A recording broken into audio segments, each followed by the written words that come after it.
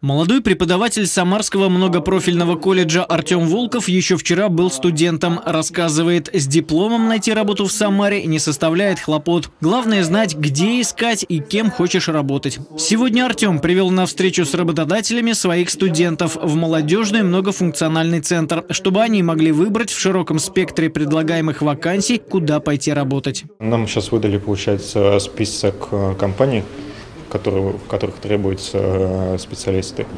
И вот я думаю, там в любом случае найдется сварщик, э, инженер-конструктор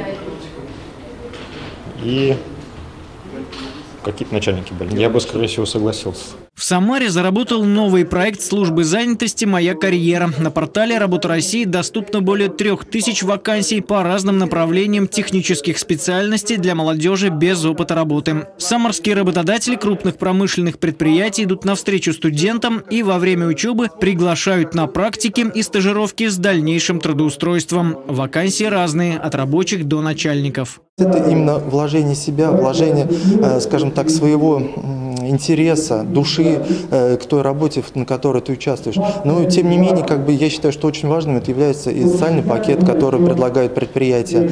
Э, соответственно, это также и э, сам коллектив, который будет окружать, то наставничество, которое будет на первых этапах организовано, соответственно, специалисту.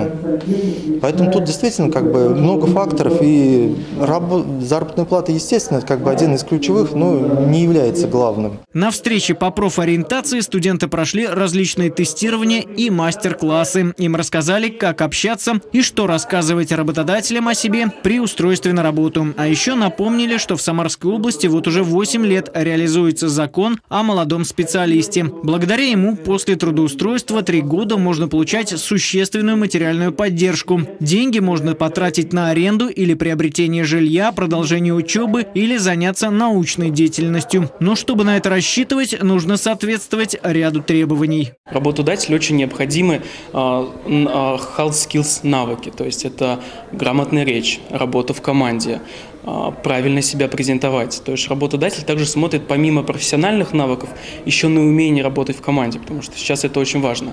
Нам очень радостно о том, что мероприятие собрало от студентов такой большой отклик.